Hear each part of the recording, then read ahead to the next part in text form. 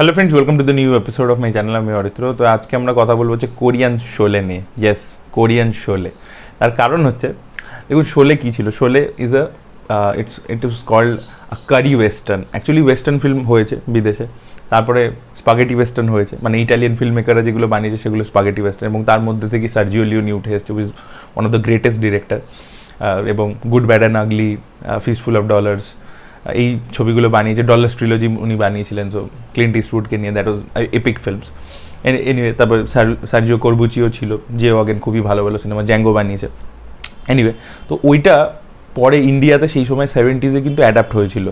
এবং Sholay was the biggest মানে example মানে বিশাল বড় হিট হয়েছিল এবং মানে ওয়েস্টার্ন অ্যাডাপ্টেড মানে ভেরি রাইটলি ভেরি রাইটলি মানে খুব দারুণভাবে অ্যাডাপ্ট করেছিল সালিম জাভেদ ইন্ডিয়ান কনটেক্সটে ইন্ডিয়ান ইমোশন দিয়ে at the same time look and feel music edit সব কিছু ওয়েস্টার্ন সিনেমার মতো।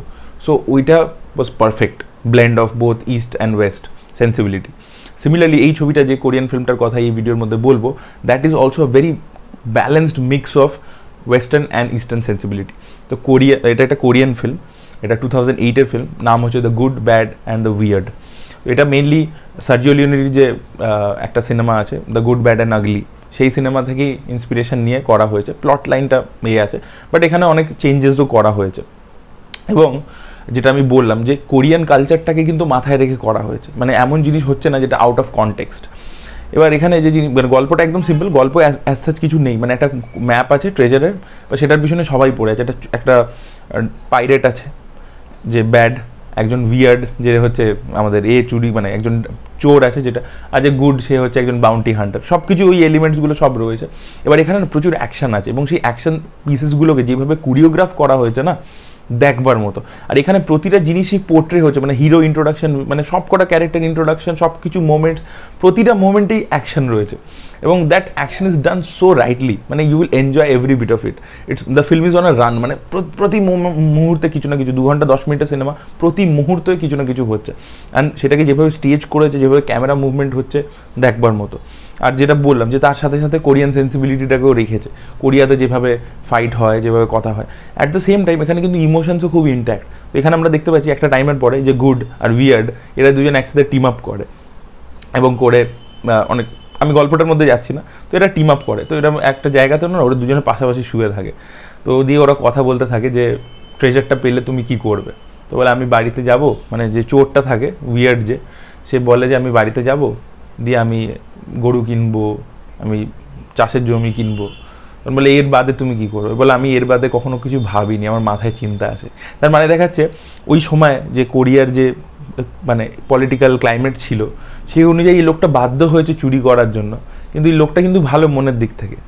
এবং most of the comedy is coming from that person only মানে প্রচুর কমেডি রয়েছে it's action comedy film so দেখাচ্ছে কি যে সিচুয়েশান এদেরকে চোর বানিয়ে দিয়েছে, কিন্তু এই লোকটার কিন্তু মানে থিঙ্কিংটা খারাপ নয়।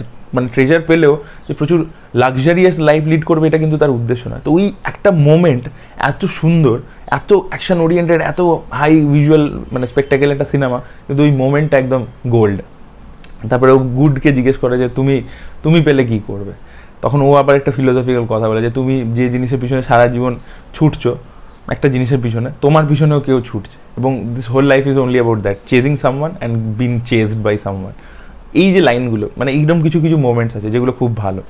আর ডেফিনেটলি খুব স্টাইলাইজড খুব এ, তো ডেফিনেটলি স্টাইলও রয়েছে সাবস্টেন্সও রয়েছে and you will enjoy every bit of it এবং প্রত্যেকের দেখা উচিত যাদের শোলে ভালো লেগেছে। অ্যান্ড এই যে ডিরেক্টর এই যে ট্রিটমেন্টে সবসময় মশালা থাকে অ্যান্ড আমার এর ডিরেক্টরের যত কাজ আমি দেখেছি, এর এর সেন্সিবিলিটিটা খুব মানে ক্লোজ টু ইন্ডিয়ান সেন্সিবিলিটি এর সিনেমা ওই জন্য রিমেক হয়েছে প্রচুর আনঅফিসিয়াল রিমেক হয়েছে আই স দ্য ডেভিল যেটা এগ ভিলেন হয়েছিল which was again a super duper hit film at the box office তারপরে বিটার সুইট লাইফ হয়েছিল, যেটা আগেন রিমেক হয়েছিল, আবার আপন যেটাও লোকের পছন্দ হয়েছে, খুব ইমোশন আছে সব কিছু আছে। তো ও সিনেমা পুরো মশালা ওরিয়েন্টেডই বানায়। মানে আমরা আমাদের এইখানে যেটা আমরা মশালা ওরিয়েন্টেড ফিল্ম বলি, ও কোরিয়াতে সেটাই বানায় with Korean sensibilities and much more modern technology and really good camera movements and everything.